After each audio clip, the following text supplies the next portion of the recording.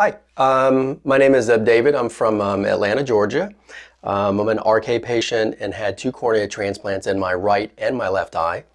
Um, my RK surgery was back in 1989, just like everybody else, progressively got worse. Saw many doctors, and we know the story. They say there's nothing they can do for us. So, through research, I found Dr. Gulani's office here in Jacksonville, Florida.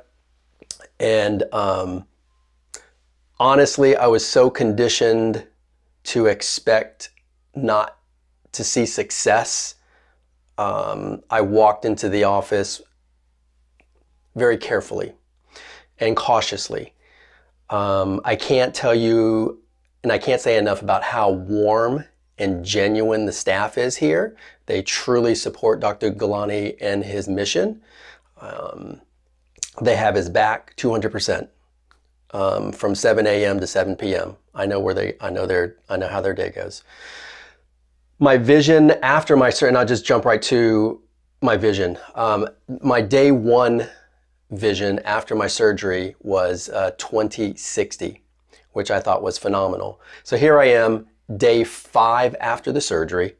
Um, just came out of the checkup um, with the staff and Dr. Gulani. My vision is 2040. So let me just say that again. 2040, day five, RK patient, two cornea transplants, 20 RK incisions. Nobody wanted to touch me. It's like, okay, where do I go? What do I do?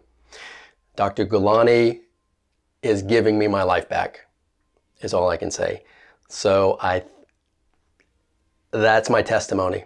Um, I know my vision is going to continually improve um, as the weeks progress and I'm looking forward to getting the left eye done here in the near future.